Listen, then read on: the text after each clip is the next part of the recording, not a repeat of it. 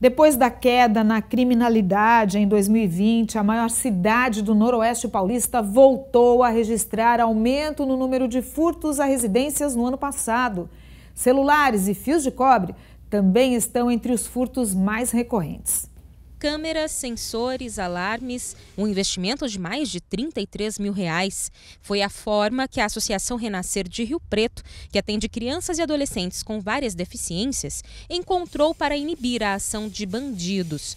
O local foi assaltado quatro vezes entre 2020 e 2021. Foram levados baterias, tacógrafo, os painéis arrebentaram para tirar rádio, todas essas coisas que, infelizmente, não é coisa de valor, mas para eles e atrapalha a nossa vida. Né? Os tacógrafos dos ônibus é importante, nós não podemos rodar sem.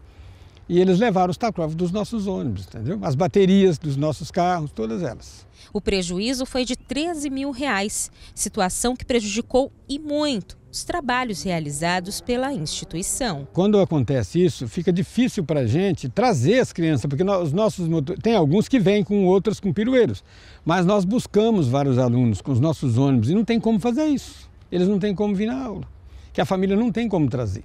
Segundo o levantamento do DEINTER 5, de janeiro a dezembro de 2020, foram registrados 4.951 furtos em Rio Preto. Já no mesmo período do ano passado, esse número subiu para 5.915, um aumento de 20%.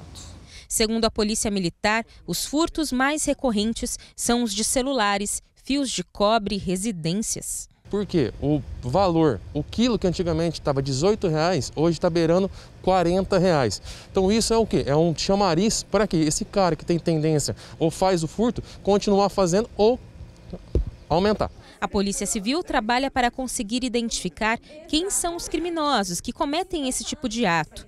Mas, segundo o delegado do Denter 5, poucos são localizados. O crime de furto é o crime mais difícil de ser investigado. Por quê? Porque não tem prova normalmente não tem prova. Né?